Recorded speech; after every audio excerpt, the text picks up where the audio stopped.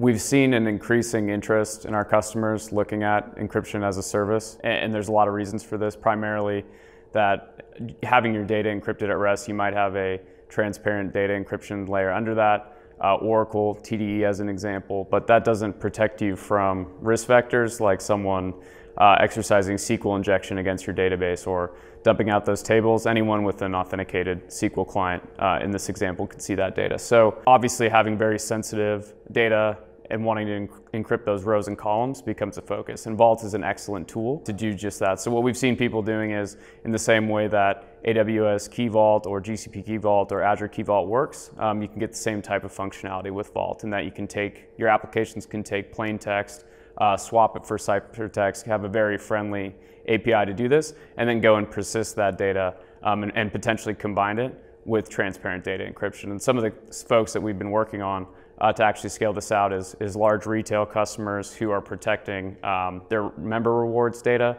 processing these batch transactions um, at, in bulk uh, across um, Asia and now rolling out into North America. We have folks who are um, large risk and monitoring companies for fraud. And again, they, they have very sensitive requirements around PII, uh, making intelligent and, and timely actionable decisions when they detect uh, that their members might be at risk. And the volumes of these workloads, this isn't just you know a few few hundred requests per second.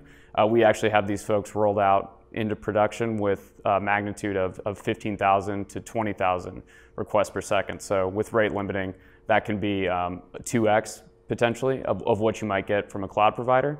And you can have a local replicated vault cluster serving those encryption keys uh, and doing that in a much more performant way for you. So we've actually worked with those folks to uh, drive new features with Vault, especially performance standby nodes, where now that encryption workload can essentially be scaled um, horizontally across the Vault cluster. And, and for our large gaming customers, that's become extremely important. We're looking at potentially 30 to 40 uh, in the longer term roadmap of, of global clusters deployed for Vault. And again, they, they, they have data that is, that is very important to their, the, the folks that use their services, uh, protecting that around the microtransactions, credit cards uh, that they're actually using uh, to purchase things in game. So again, we're seeing a, a, huge uptake in the interest for encryption as a service. Uh, we're continuing to make that feature easier to consume to provide um, guidance in how folks are rolling it out. Um, and at the end of the day, it's exciting to see that people are having a lot of success um, and, and, able to do it at, at scale. That's super impactful for the business.